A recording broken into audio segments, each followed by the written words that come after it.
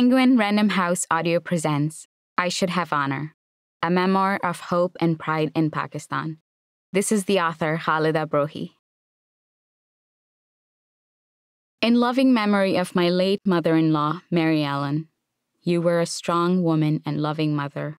You looked me in the eye and asked me who I am. You entrusted me with your only son and made our life together possible. You were a truly honorable woman, and your memory will always be a blessing to us and so many others. I love you, Mom. We miss you. Introduction There's a saying in my tribe Izzat mare, pen mare timaf. Even if I have nothing, I should have honor. Like any other girl in my village, I associated the concepts of honor and dishonor with my father. I knew in the way that I knew the sun rises from the east that as his eldest daughter, I was the person who could dishonor him the most. In my childhood, I would spend days and hours worrying about how to keep the honor of my father alive and how never to stain it.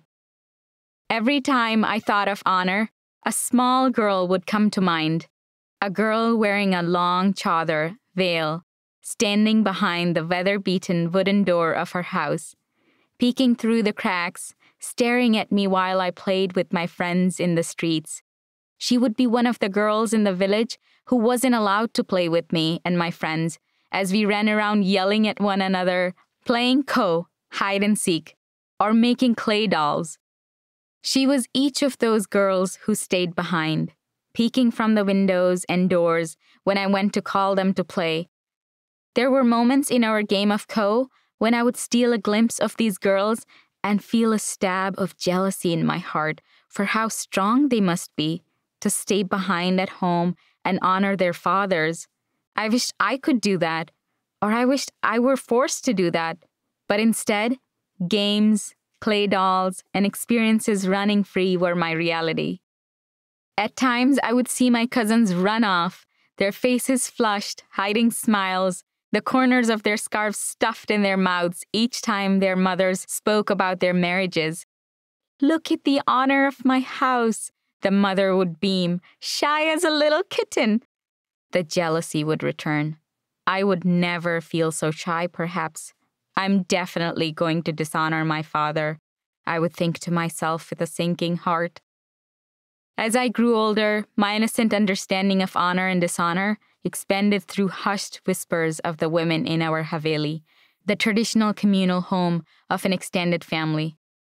As the word murder emerged in the same conversations as honor, my fear and anxiety about this topic became stronger. Women and girls killed because they brought shame on their male relatives and their houses. The biggest dishonor to a house, it seemed, was a girl gone wrong. Never really understanding what that meant, I had promised myself I would never go wrong. Then one day, when I was about 10 years old, my father sat me down and asked me the question I dreaded the most. Khali, he said in a tone that made no effort to hide his affection and worry. Do you know how you will dishonor me? Blood drained from my round cheeks.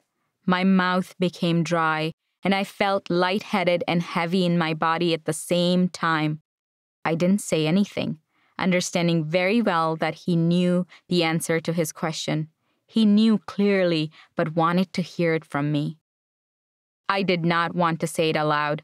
The idea of going wrong was a bitter taste in my mouth, a devil lurking in the woods, a ghost hiding behind doors, all those things I feared. And yet, I didn't even know what wrong meant. So I kept quiet, letting the thick air hold me still as my breathing turned shallow. My father's eyes looked straight into mine. Fear now took physical shape and danced in front of my eyes as I stared back at him, afraid that he could see it too. Khali, he continued with the same grimness, you will dishonor me the day you fail to bring good grades home. I thought I was not hearing him correctly. I have risked every bit of my dignity by bringing you and your sisters to the city, he continued. I have brought tears into my own father's eyes. I have argued with my friends about my decision to give you freedom, and with this freedom, they tell me you can easily destroy my honor. My honor now lies with you, my Khali, and the day you stop working hard and fail in school, I will be completely dishonored. He kept speaking, but I wasn't able to hear anything else. My universe was slowly taking a new shape around me, my mind and heart filled with fresh awareness, and my brain opened with the burst of this new knowledge. A secret was spoken to me that day, a secret that would later help me stand strong in the face of a centuries old custom. Life would later call me to speak this truth. I would be able to remind people what honor really meant. Honor is not murder, and dishonor is not a girl who goes to school. It is not a girl who plays outside. It is not a girl who refuses to marry at a young age. It is not a girl who speaks, laughs, and takes the opportunities that come in front of her. Instead, honor is identity. Honor is dignity. Honor is serving those we love with integrity and hard work. It is respecting one another, welcoming the stranger, and speaking and being proud of your own language. It is providing for your family, striving for the best in life, and praying for the best for people. It is being a nation that people praise and respect. This awakening to the real meaning of honor gave me the clarity to be angry when a murder close to my home shook my understanding of the world. I stood up to fight this unjust crime, and I started on a journey of reminding people what true honor is. I would raise my voice, look deep into our cultural values, and ask, where exactly did honor attach itself to murder? I would examine our religious guidance to try to understand how the Holy Quran could call daughters rahmat, a blessing, when people who called themselves Muslims were practicing this brutal custom. That day, my father took the biggest weight from my shoulders and in its place attached two wings. I soared in this new awareness. I was free from the fear that makes women tell their peers to accept their fate to stay quiet in the face of injustice. And more than anything, I was free to tell my story and the stories of those like me to the world. I wrote this book because it is time to share this story. My story is not unique. It is the story of thousands of girls and women in Pakistan who are unable to grow because of a lack of opportunities or a lack of voice. I proudly call myself a tribal woman and I carry with me hundreds of stories that have shaped and enriched my life and connected me to every single woman in my country.